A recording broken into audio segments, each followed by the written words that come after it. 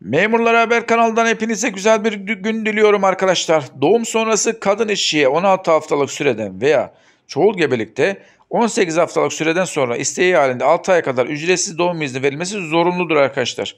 İşverenin takdir hakkı yoktur. Toplu sözleşmelerinde ücretsiz izin maddesi varsa doğum sonrası ücretsiz izin ile mukayese edilemez. Tek fark doğum sonrası için işçinin talebi ile işveren ücretsiz izni kullandırır. Ama toplu sözleşmede yazan ücretsiz izin ise işçi talep eder ve işveren onay ile bu izin kullandırılır.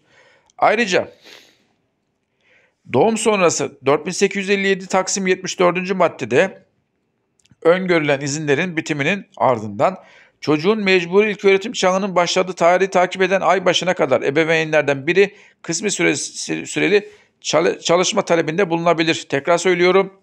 Doğum sonrası 4857 Taksim 74. maddede öngörülen izinlerin bitiminin ardından çocuğun mecburi ilköğretim çağının başladığı tarihi takip eden ay başına kadar ebeveynlerden biri kısmi süreli çalışma talebinde bulunabilir.